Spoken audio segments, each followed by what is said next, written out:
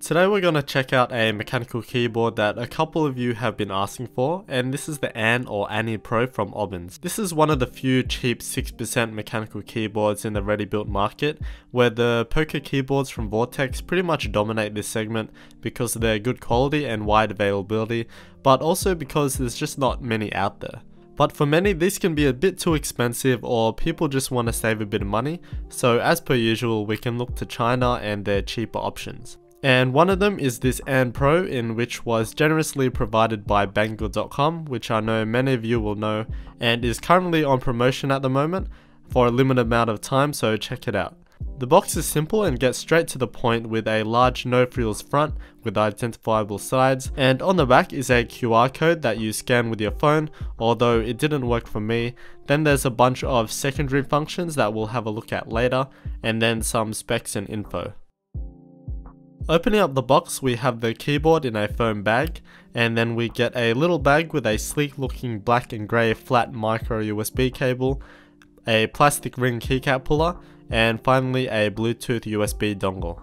And this keyboard hits big with the buzzwords, it's a 60% wireless Bluetooth RGB gaming mechanical keyboard. So as said, this is a 60% keyboard, meaning that it has 6% of the amount of keys in comparison to a full-sized 104 key keyboard. So basically you cut off everything except for the main section and the idea behind it is that you can still put all these less used other functions onto the keyboard with secondary function layers to create a more compact design and this compact design is useful for ergonomics in that you don't need to move your hands and fingers as far to actuate different keys and you can also bring your mouse closer to the center as well for a better shoulder positioning.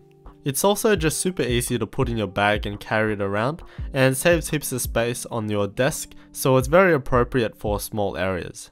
The keyboard is a completely standard ANSI layout, so replacing keycaps won't be an issue at all. As said before, you can still do everything on this keyboard, but you have to access it via the function key at the bottom.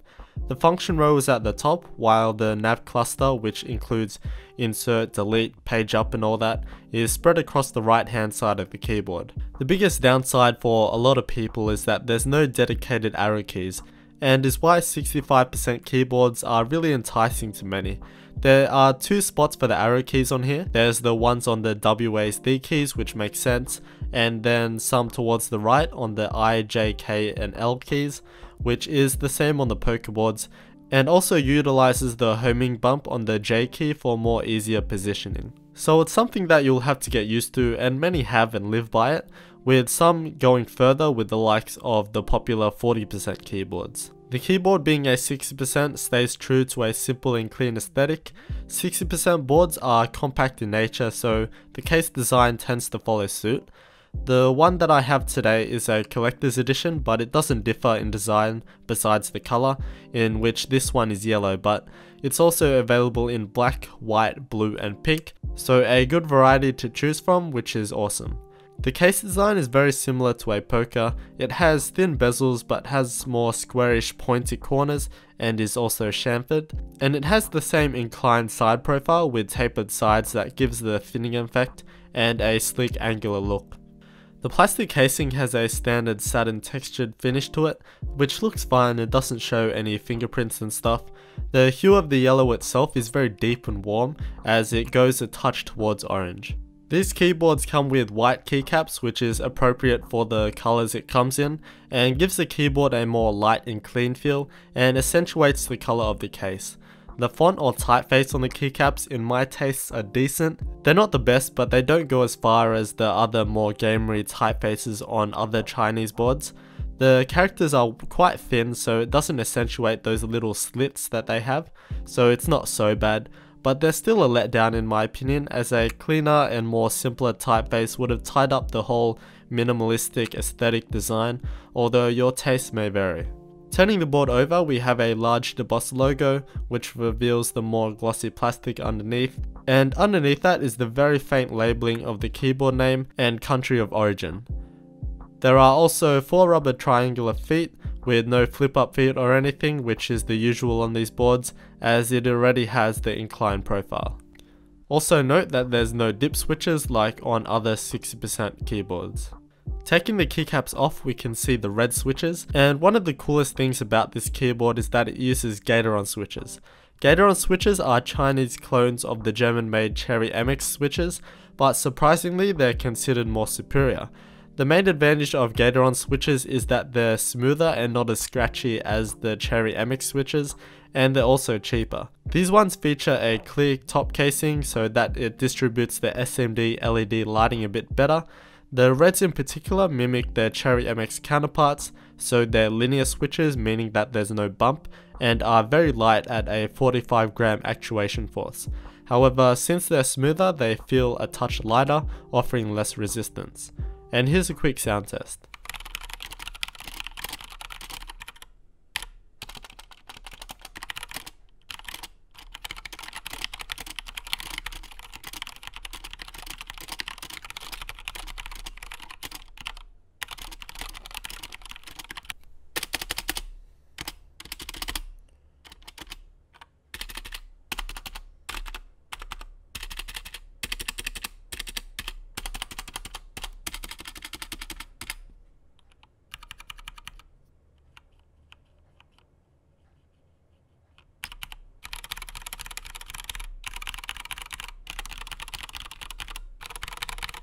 So as we can hear, the stabilized keys, especially the spacebar, are just super loud and rattly which is unfortunate.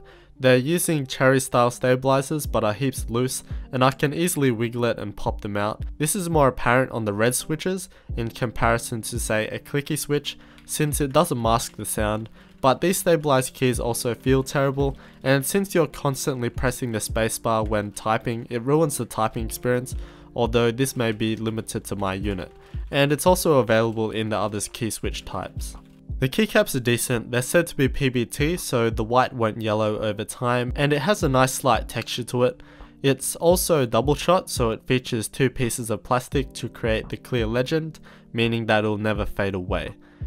And on the rear is the micro USB port as opposed to a more standard mini USB port. So one way to use the keyboard is to plug it in via the micro USB cable and that will get it working straight away and won't require charging but the other way of course is via Bluetooth. If your device has built-in Bluetooth like a laptop, tablet or phone, then just connect it by holding the function key and the B key and it will start flashing. The keyboard can hold up to 4 devices, so press a number from 1 to 4 to save it to that number, and just put in the numbers that come up on your device. The Bluetooth typing experience is okay, it's a bit sluggish and you can notice it when typing at a reasonable pace, but so far it hasn't hindered my ability to type accurately, and the connection was also really strong with a line of sight distance of easily over 10 meters. The lighting on this is great and the colours are vibrant and rich and also since it does have a wide spectrum of colours the gradient is smooth in the wave effect. The lighting is controlled via the function key and the letters R, T, Y and U. The RGB button turns it on and off. The T key controls the rate of the given effect. Y controls the brightness in which there are 10 including off and U changes the different modes. Pressing the mode button goes through 9 different steel colors to fit your setup. Then there's the French, Italian and Argentinian flag for whatever reason. Then there's the effects modes with breathing, wave, singular reactive, then a different reactive, and then this colorful mode. So there's a decent amount of modes and colors on board, but if you want to take full advantage of the RGB lighting and also other functions of the keyboard, then you'll have to download the app which I'll link below, but basically you have to control it with your mobile device since the software is available on Android and iOS. In the app, the lighting is pretty much the same except you can make custom colored layouts and save them, you can customize each individual key or quickly change colors of just the alphas or the modifiers. In the alignment section, we can customize the layout of the keyboard, which is really cool. So you can make it to suit your needs. There's some layout saved already, which includes a Mac layout but you can create and save completely custom layouts so you can put whatever letter or number or whatever wherever you want and it can be done across two layers which is accessible by the function key. Therefore if you wanted to you can put in dedicated arrow keys. In the macro definition section you can record and create macros which may be helpful in games or work programs for better efficiency. And in the settings section, we can just see some miscellaneous things. So the keyboard really is capable of a lot via this app. However, this does mean that you have to use your mobile device to do this, which may be annoying for some, and it will take up one slot in the devices list, but that's not really a problem for me. I asked around and others have reported of about a week of use with the LEDs on and much much longer with the lighting off so that's some pretty good battery life. Opening the keyboard is extremely simple since it only has a bottom shell. There are 5 Phillips head screws under a couple of keycaps and it comes apart in two pieces. We have the ABS plastic bottom shell which feels quite strong and also has some shallow ribbing on the bottom surface for reinforcement.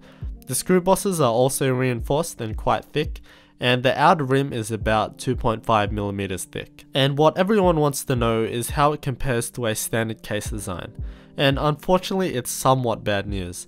The black case is a standard 60% case design and is from my Poker 2 keyboard. As we can see, they're similar but not the same. First of all, in the Anne Pro case, there's a large cleared area for the battery, but that really isn't a problem since you can simply cut a bit of plastic on other cases, but for thinner profile cases this may be a problem.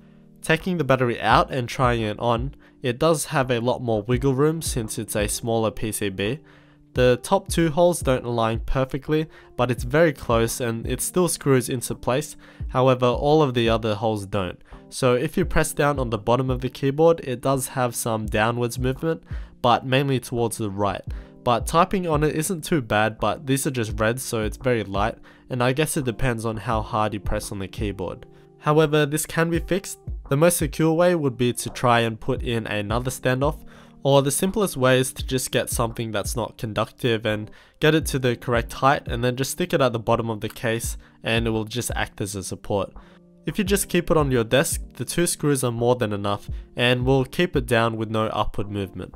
So yeah, it's not 100% compatible, but you can definitely make it work, which is great news for anyone who wants to get other available aftermarket cases. And also you can't put a poker in this case since it's too big, and it also doesn't have a hole for the dip switches. Also, the little header for the battery to plug into isn't really secure, and mine fell off, so be careful with that. The battery also isn't secured by any adhesive or anything, Early users had issues with the battery being punctured by the sharp solder joints on the back of the PCB, so it has two pieces of foam to protect it. Previously I've seen just one piece of foam so I'm not too sure, but I think that's the solution that they came up with. Looking at the rest of it, we have the PCB which is mounted onto a white painted steel backplate.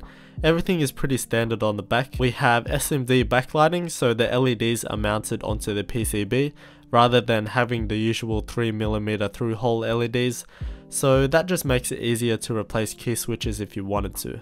The keyboard features N-key rollover and features diodes for each switch and features two ARM Cortex-M3 processors. So I'm just really impressed with this mechanical keyboard. For a Chinese board, this is one of the best I've come across.